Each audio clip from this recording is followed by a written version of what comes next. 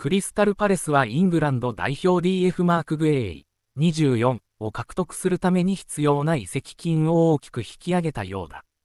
2021年にパレスにやってきた同選手は今やプレミアリーグを代表するディフェンダーの一人となった。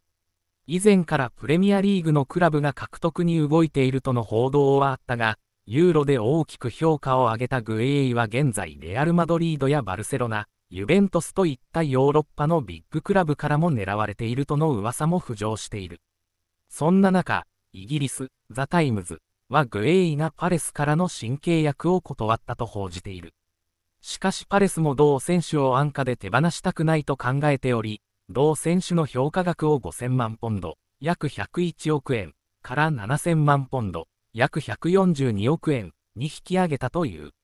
これはユーロでの活躍だけではなく、チェルシーから同選手を獲得した際の売却条項で、今後移籍する際には売却額の20%をチェルシーに払わなければならないということも大きく関係している模様。パレスとしては今夏主力選手のマイケル・オリーセのバイエルンへの移籍が決まっており、これ以上の流出は防ぎたいところ。グエイだけではなく、エベレチエゼもビッグクラブから狙われており、クラブは引き止めに全力を注ぐと考えられる。